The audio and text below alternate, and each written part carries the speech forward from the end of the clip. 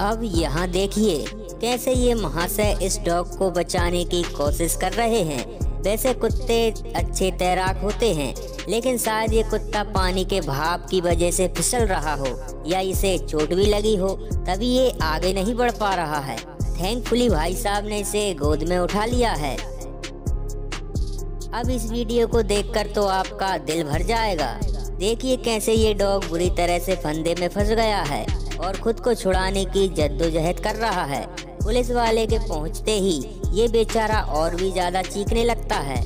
जैसे कह रहा हो कि मुझे बचा लो प्लीज़ और देखिए कैसे आज़ाद होते ही इसने इस पुलिसमैन को हक कर लिया। सच में प्यार की भाषा सब समझते हैं।